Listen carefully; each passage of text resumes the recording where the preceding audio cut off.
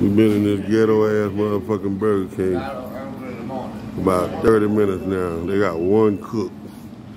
This, this is what you get when you're in the hood. Look at that nigga back there behind the counter.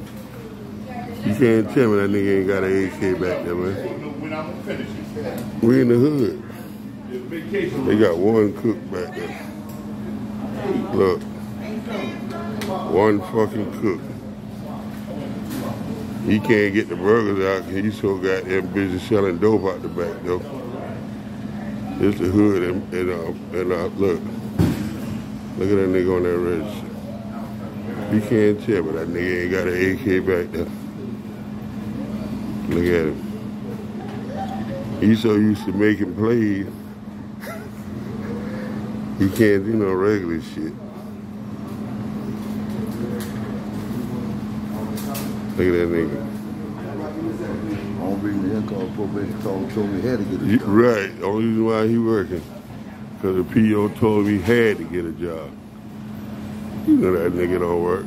Look at that nigga. He probably be here about a week. That's it. He out of here. Long enough to goddamn. He didn't want enough to re-up.